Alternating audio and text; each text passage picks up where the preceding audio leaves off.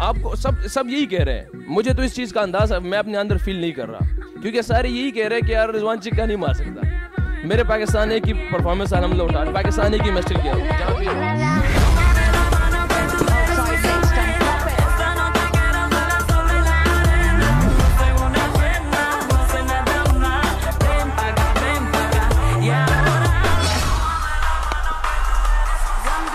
to the feet.